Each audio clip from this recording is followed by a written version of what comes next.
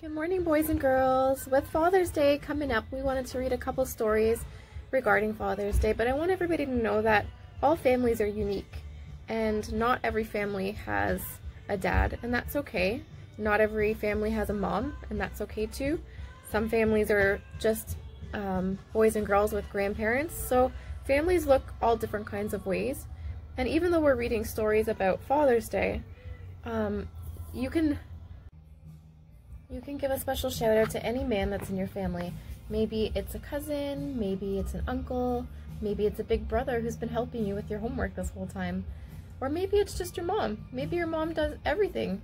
She is the person who, you know, makes your food for you, tucks you into bed at night. She is amazing. So maybe you just want to give her an extra special thank you and make your crafts and your writing activities this week for that person. With that being said, I hope you enjoy the story. The story we're going to read today is called Daddy's Little Girl by Ronne Randall and Esther Corke. Daddy's Little Girl.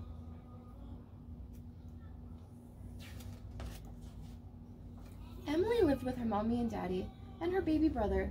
Emily was a very busy little girl, but daddy was always there to help. Daddy and Emily read books together and played games too. Sometimes Emily let daddy win. On Wednesday afternoons, Emily went to ballet. She had a pink leotard and tights and pink ballet shoes. Daddy always took Emily to ballet on his bike. He stayed to watch with the other mummies and daddies. That's my little girl, he would say proudly when it was Emily's turn to dance. The next day, Daddy put small training wheels on Emily's new bike. Then he showed her how to get on and off the bike and push the pedals with her feet. Daddy stayed close by while Emily rode up and down the sidewalk.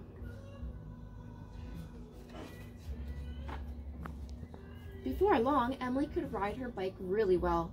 One day, Daddy said, I think it's time to take the training wheels off. Emily wasn't sure, but Daddy promised he'd be right there beside her. Daddy held on to the back of the seat while Emily pedaled the bike. It feels wobbly, Emily said. You're doing just fine, said Daddy. I won't let you fall. What a good dad. Emily rode all the way down the street. I think you can let go, Daddy, she said. I already have, Emily, or Daddy called. Emily was riding her bike all by herself with no training wheels. She felt very proud. That's my girl, said Daddy. He was proud too. Whee! At the weekend, Emily helped Daddy take the special seat off his bike. He attached it to Mommy's bike. They all went on a bike ride in the park. Emily's little brother rode in the special seat, and Emily rode right be beside her daddy. When they got home that evening, Daddy helped Emily put her bike away in their garage.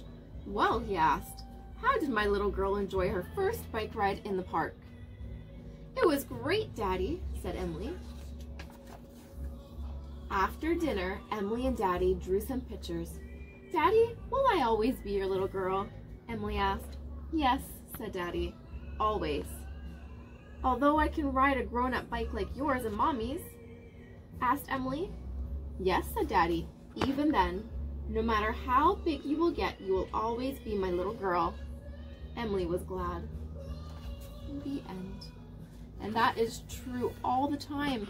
Even when you are big, you're still going to be your daddy's little boy or little girl. And the same for your mommy. You're always going to be their little baby.